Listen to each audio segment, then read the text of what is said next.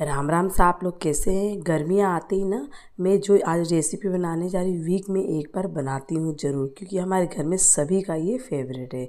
तो मैं मटकी में आज बना रही हूँ तो मैंने सबसे पहले यहाँ पे लिया है दूध। आपको लेना है फुल क्रीम दूध।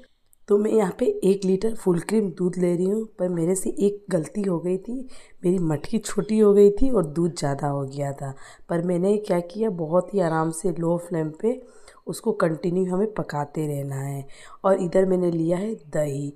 दही बिल्कुल भी खट्टी नहीं होनी चाहिए। तो मैंने यहाँ पे एक कप दही लिया है। दही लेने के बाद उसे क्या करेंगे? एक छन्नी में रख देंगे ताकि दही का जो एक्स्ट्रा पानी है, अलग हो जाए। तो पंद्रह बीस मिनट पहले ये काम करना है आपको। और यहाँ लिया है मैंने एक दूसरा बर्तन और क्या करना है? दूध को तो हमें पकाना ही है। दूध को हमें आधा करना है। जितना है दूध उसका आधा हमें करना है तो एक लीटर है तो आधा लीटर करना है। एक लीटर के हिसाब से मैं एक कप यहाँ पे चीनी ले रही हूँ। चीनी को हमें मेल्ट करना है।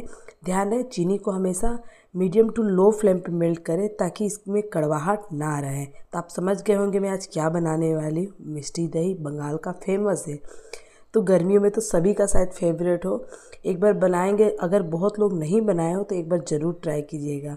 ये फेवरेट हो जाएगा। जब चीनी मेल्ट हो जाएगा तो दूध आधा हो गया था, आधा पक चुका था मतलब हाफ़ लीटर हो चुका था। तो मैं थोड़ा थोड़ा करते हुए इसमें डाल रही हूँ और अच्छे से मिक्स कर रही हूँ। मिक्स करते हुए हमें थोड़ा थोड़ा दूध डालना है। एक साथ नहीं डालना है, जिस तरह से मैं डाल रही हूँ, इसी तरह से आपको भी डालना है।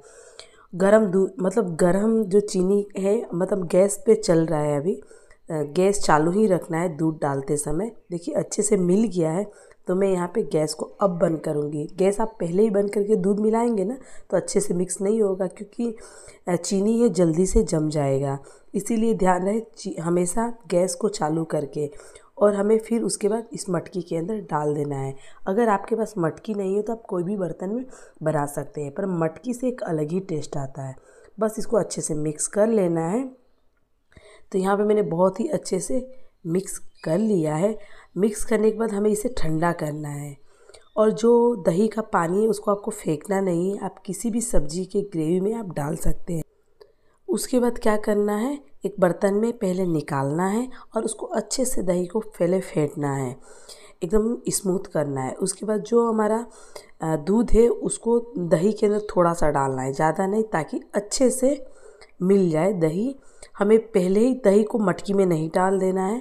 हमें पहले इसमें दही के अंदर दूध डालना है। अच्छे से मिक्स हो जाएगा। तो इसके अंदर डालेंगे ना तो अच्छे से चारों तरफ़ मिक्स हो जाएगा। तो देखिए इस तरह से हमें डाल देना है मटकी में फिर से।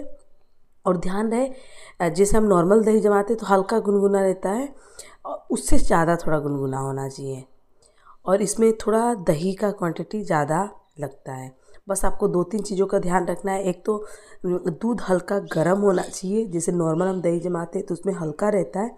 इसमें थोड़ा ज़्यादा रहता है। उसके बाद क्या करना है, कोई भी उलिन कपड़े लेना है। आप सोच रहे होंगे कि ये क्या कर रही हूँ? हाँ फ्रेंड्स गर्मियाँ बहुत ज़्यादा है, पर आप क्या करेंगे ना?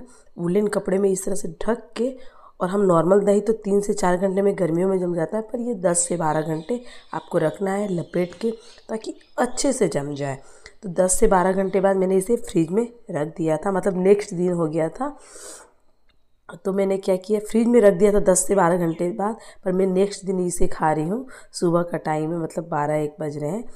तो मैं एक बार आपको टेस्ट करा रही हूँ। बहुत ही ज़्यादा टेस्टी बन के तैयार हुआ था फ्रेंड्स। एक बार आप ज़रूर ट्राई कीजिएगा और वीडियो अच्छी लगी हो तो लाइक, शेयर, सब्सक्राइब करें। Bye bye.